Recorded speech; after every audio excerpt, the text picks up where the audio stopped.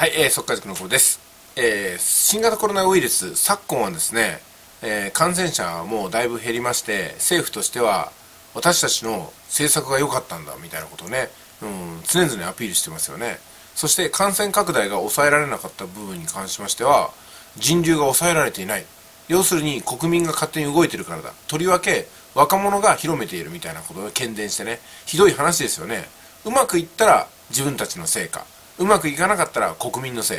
これがね日本政府のやることなんですよ。そしてですね東京の小池知事もねまあなんともね私たち国民の知る権利をバカにしたようなねそんな対応をしてます。ちょっとこちらご覧ください。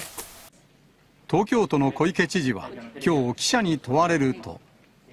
宣言の解除のタイミングについてお伺いしたいんですけれども、宣言解除の話はちょっともう、ももう少し先にしてくれませんか？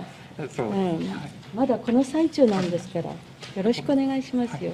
はい、いかがでしたか？まあ、とにかくね、都合の悪いこと聞かれたら、半切れするっていうのがね、権力者によくある構造でございますね。まあ、感情を高ぶらせるのもわかるんですけども、先日、菅総理もね、山田広報官のことに触れて、なんかえらい怒ってましたよね。うん、怒りを抑えないといけないところもわかるんですよね。うん。まあ、どうでしょうかね。本当に怒るべきは我々の方じゃないかなと思います。特別定額給付金の第2弾、あ脱出するべきこの経済対策ね。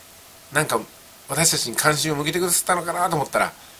えー、国民一律支給ではなくて一部の方にということでございました。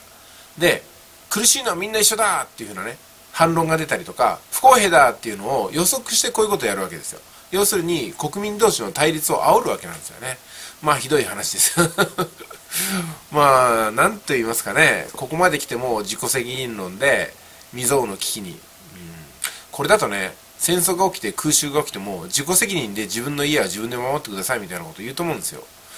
うん、で国家の、ね、防衛に関しましては